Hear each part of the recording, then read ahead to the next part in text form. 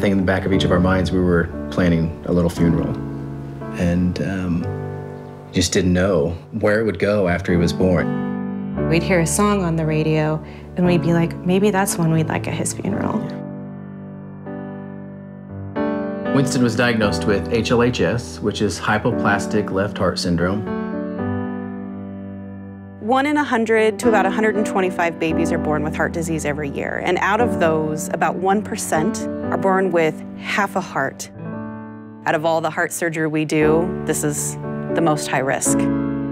They lose about 25% of these babies in between the two surgeries. The standard of care at the time was to send these families home with a weighing scale and a pulse oximeter and a three-ring binder, and they were asked to record measurements of their baby every day. So we needed a method that we could actually send something home with the parents so that we could better monitor and be alerted if there were conditions that we were concerned about with the patient. We have a Microsoft Surface that we load our software on. We call it CHAMP. We decided we wanted to use a modern app with Windows 10 as the operating system.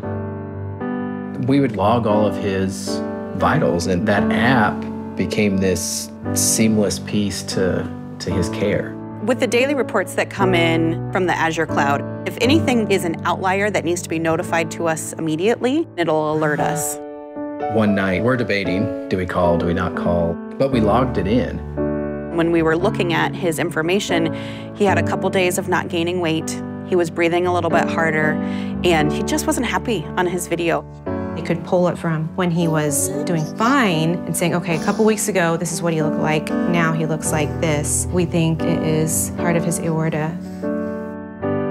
We were we were scared. It was it was real, real fast. They did the procedure the next day, and then I think he went home the day after. This technology literally saved his life. The first time that I heard a child's life had been saved with CHAMP, I left the room because uh, I kind of needed to tear up in private because it was a dream that I'd had for a long, long time. The goal is to get this out to as many patients as possible so that we can help save kids' lives throughout the world eventually. For everyone behind the scenes, we're very thankful for it. Saved his life, and how do you say thank you for that?